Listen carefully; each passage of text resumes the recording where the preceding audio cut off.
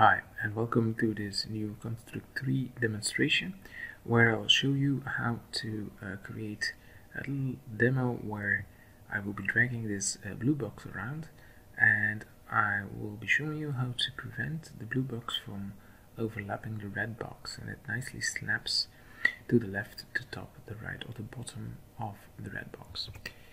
Um, so how do we do that? Of course, there are two boxes, uh, blue box and a red box, and they both got the drag drop behavior, so we can drag them around. Um, and in the event sheet, we have uh, from the blue uh, sprite, which we are dragging, of course, we have the it's dragging event, which happens while we are dragging this thing around and we have the on drag drop which happens when we effectively drop the sprite somewhere so in both cases we need to do some logic and therefore it is um, encapsulated in a function called uh, limit drag and this limit drag function is called from both this event where we are dragging and the drop event where we are dropping the blue box on the canvas. Um, now, what does it do, this uh, on function limited drag? Well, we've got a little local variable here, um, which we're going to set when we're detecting that the blue box is overlapping the red box.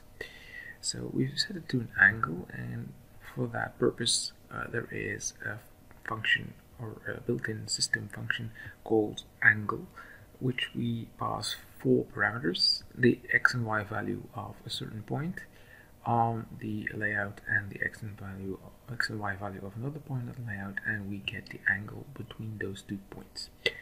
Now um, the first coordinate is of course the x and y coordinate of the red sprite and the other one is the x and y coordinate of the blue sprite.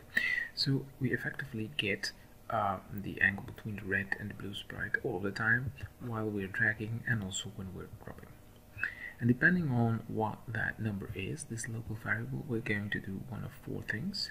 If it's between uh, 45 degrees uh, of zero, we're going to here see uh, that the angle in degrees is A is within 45 degrees to angle zero, or it is within 45 degrees of the angle 90, or within 45 degrees of 180 and within 45 degrees of 270. It's actually just detecting what side of the red sprite we are on. That's what it does. So if we're within uh, 45 degrees of zero, we're just going to set it to the bounding box right of the red sprite plus its width divided by 2.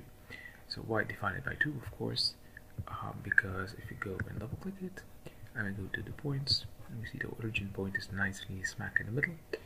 So that is the width divided by 2 it's exactly there. So that's why we came to do that.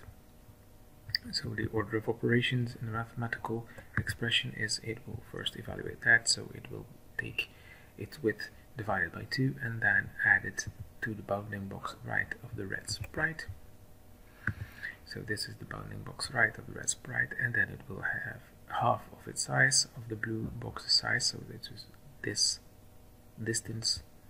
So this point plus this distance gives a situation where it's going to pop right there.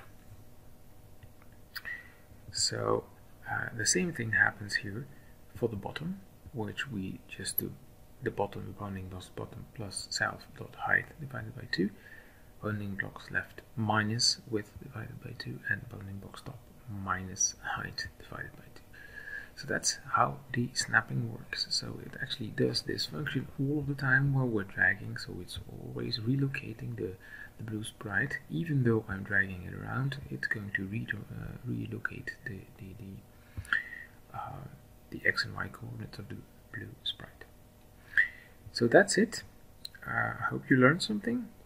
As always, please like and subscribe, and I will leave a link in the description where you can get this template.